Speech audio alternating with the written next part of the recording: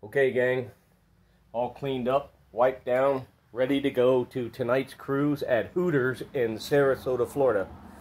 It's still 78 degrees out, and it's, in, it's actually kind of hot.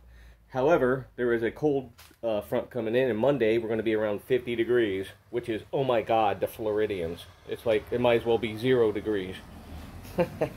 Everybody drives 10 miles an hour slower just because it's cold. but that's Florida, baby. Anyway, the car cleaned up good.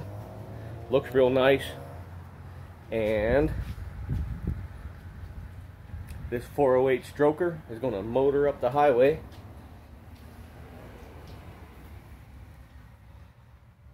Oh, yeah.